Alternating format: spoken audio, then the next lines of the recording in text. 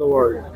Um, I just uh, am going to try to visit universities like these uh, in the future in order to further uh, people's love of math and science, as well as spread uh, my love of math online. Meeting aga.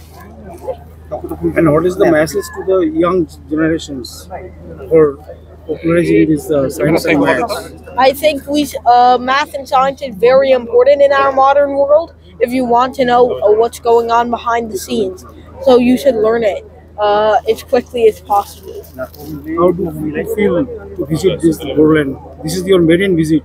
So, what is your feelings? It's a great place. It's very beautiful. Uh, it's an extremely unique culture, and I'm so excited to be here. What suggestion do you suggest to the younger youngsters that uh, like uh, you to become as a youngest professor in the world?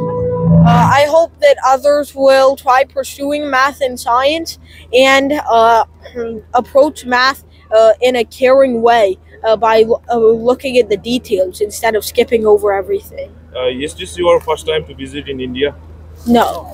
in Northeast? Yes, and how do you feel that you have arrived in Bodoland University and interaction with the professors from many colleges and students? How do you feel?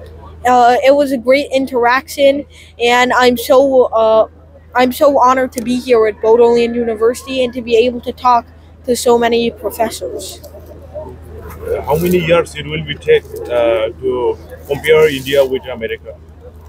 Uh, How many years it will be take as India? I don't really know how exactly to answer that question.